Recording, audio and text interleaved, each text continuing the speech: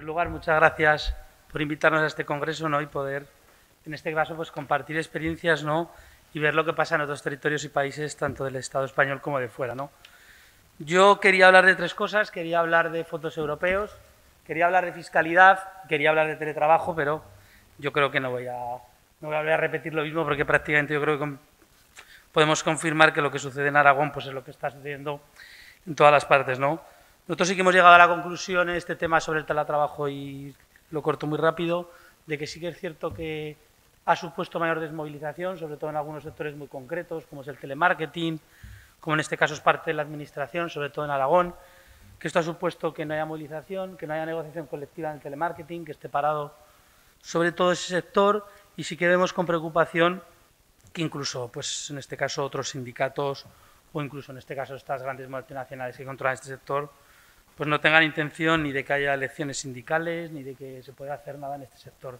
Y por lo tanto, pues eso está, o en este caso, o en Aragón está sucediendo, que está deteriorando bastante las condiciones de los y las trabajadoras.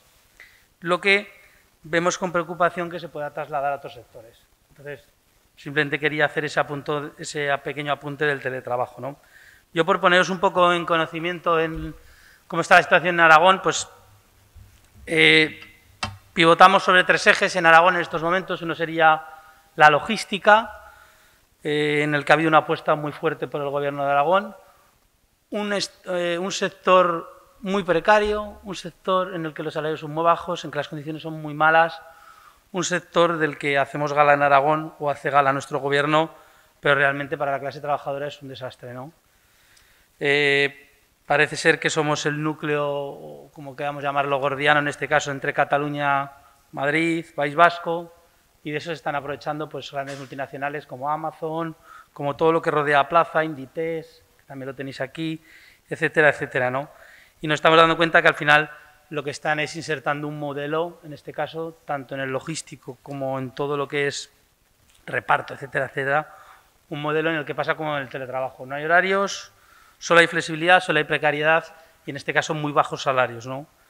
Yo creo que es un tema que nosotros en este caso en Aragón sí que vamos a realizar una serie de campañas a combatir. Creemos que es un tema que se va y que se está y que está sucediendo en otros ámbitos como son los riders, como son todo este tipo de trabajos.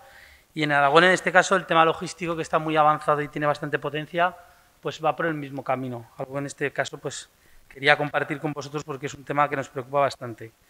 Yo sobre el teletrabajo que me he dejado una cosa en Aragón, el 21% de los y las trabajadoras podían hacer teletrabajo, cuando en estos momentos lo hacen es aproximadamente el 10%, que ese dato no, no lo he dicho y creo que también es importante. Entonces, al tener bastante potencia, en este caso el tema industrial, es el, 10%, el 22% de nuestro PIB, pues el teletrabajo no está influyendo en gran manera, excepto en esos sectores, como he dicho. ¿no? Nosotros sí que creemos que tenemos que hablar de fiscalidad, creo que es importante, creo que desde las organizaciones sindicales debemos hablar de fiscalidad y debemos hablar de financiación. Creo que es un tema súper importante porque si no, difícilmente podremos mantener unos servicios públicos de calidad, difícilmente, como han dicho ya los compañeros que han intervenido, podremos intentar tener otro modelo energético, que ahora querría hablar también de ese tema, es un tema que nos preocupa bastante, y difícilmente podremos hablar en este caso también de apoyar a las personas más desfavorecidas o lo que peor han pasado la crisis. ¿no? Yo creo que coincidimos todos en el análisis.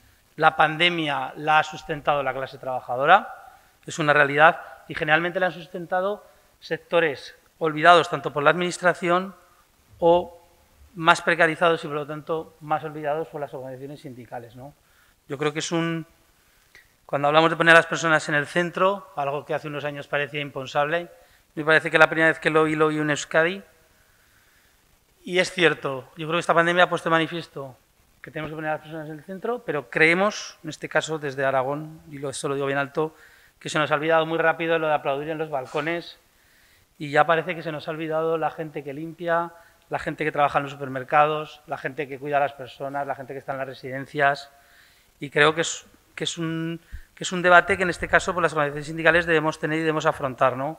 Si no somos capaces de llegar a todos esos sectores precarizados y no somos capaces, en este caso, de poder afrontar y de poder defender a todos esos sectores, pues esa no adaptación en todo ello nos va a conllevar seguramente, no voy a decir a la desaparición, pero a tener muchos problemas final, el sistema capitalista, como habéis dicho, se reinventa constantemente. ¿Está en crisis? Sí, es cierto, está en crisis, pero constantemente se reinventa. Entonces, por lo tanto, tanto el teletrabajo como la logística, como los riders, como todos estos sectores nos están demostrando que se va readaptando y se va reinventando. Entonces, por lo tanto, solamente nos va a quedar, como ha dicho la compañera de la Intersindical Canaria, pues intentar llegar hasta la victoria y, eso solamente se consigue con la lucha y con la organización sindical. Entonces, es importante tener alianzas, es importante que compartamos experiencias, nosotros así lo vemos, y por lo tanto, pues bueno, esto es un poco el pequeño análisis que hacemos, ¿no? Sobre la financiación que he dicho, eh, yo creo que tenemos que tener claro que tenemos que exigir al Gobierno del Estado español una financiación más justa en todos nuestros territorios, ¿no? Aquí voy a hablar, en este caso, del Estado español, no del resto, porque al final no puede ser que a mí me cueste venir desde Zaragoza a Santiago de Compostela siete horas, que no tenga la posibilidad de venir en, ningún medio más que en tren o en coche. Eso demuestra que seguimos en un estado que es radial totalmente, que todo tiene que pasar por Madrid y creo que eso es una dinámica que desde cada uno de nuestros ámbitos y nuestros territorios tenemos que intentar romper. Es una tarea difícil porque al final tenemos enfrente no solamente al Estado, sino tenemos enfrente en este caso nosotros, por ejemplo, pues a un gobierno de Aragón que podríamos decir que es más español que el gobierno de Madrid. Entonces es una tarea complicada, pero creo que es una tarea que tenemos que, poner encima de la mesa, ¿no? Que lo sindical es político y que lo político también tenemos que hablar de financiación. Sobre el modelo energético, por no ponerme, por intentar no ocupar más de mis diez minutos, como ha dicho el compañero, sí que creo que es otro debate en las organizaciones sindicales, ¿no? Estamos ante un modelo energético y de renovables que va a destruir todo, o o está destruyendo todo, ¿no? Nosotros en Aragón tenemos una de las grandes empresas, que es Forestalia, que tiene parte de capital aragonés y está inundando Aragón de molinos, ¿vale? Está inundando Aragón de molinos mientras sube el precio de la luz y mientras os voy a decir una cosa. Aragón sería autosuficiente con la energía, en este caso, que, hacemos. Aragón, el 44% de la energía que que generamos sale fuera, sale al exterior. No quería decirlo por los amigos catalanes, pero va a Cataluña. Y es una energía, pero no por ellos, es una energía que pagamos a precio de oro, todos y todas, y que se genera en Aragón, que en este caso pues, es una demostración más de que el capitalismo no tiene límites. ¿no? Y bajo la energía verde, bajo las energías renovables, tenemos un aura que todo nos parece bien, parece que todos admitimos todo esto, pero en Aragón sí que empieza a haber ya un movimiento bastante fuerte en contra de la instalación de estos campos, en este caso ya sean de molinos o de placas solares, que están destruyendo todo el territorio, que están destruyendo en este caso la naturaleza, y a la vez que hablan de medio ambiente destruyen el mismo. ¿no? Entonces yo creo que es otro, otro de los temas que en este caso las organizaciones sindicales deberíamos tener muy presentes. ¿no? Y yo creo que por último voy a hablar de los fondos europeos. ¿no? Yo creo que Hoy debemos hablar aquí de fondos europeos porque yo creo, nosotros creemos en este caso desde OSTA, que son otra gran estafa y otro gran regalo tanto a los Estados-nación de la Unión Europea, porque al final es un dinero que al final vamos a tener que devolver, pero realmente en el que en estos momentos pues estamos, vamos a estar pillados unos cuantos años, y en el segundo a las multinacionales. Yo creo que al final en Aragón el 78% de los proyectos que va a avalar el gobierno de Aragón son propuestos por empresas de más de 250 trabajadores. ¿Eso qué quiere decir?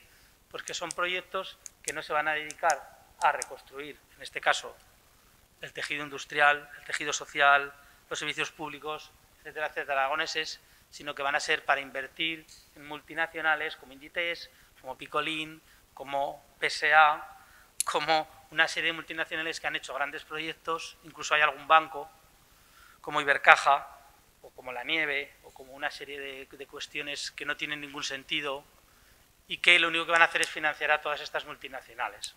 Entonces yo creo que desde el movimiento sindical deberíamos ser mucho más críticos con la llegada de estos fondos europeos y sobre todo de cómo se van a repartir. Yo por mi parte simplemente deciros, por no alargarme más tampoco, que sobre lo público necesitamos una alianza más, más, más fuerte, más profunda, necesitamos poner encima de la mesa, las, o sea, poner en el centro a las personas, no. Necesitamos que los servicios públicos entiendan que tienen que estar constantemente en el centro del debate, porque si no al final los mismos acaban como están sucediendo, desmantelados y privatizados. Entonces, pues nada, muchas gracias por dejarme participar y nos vemos estos días.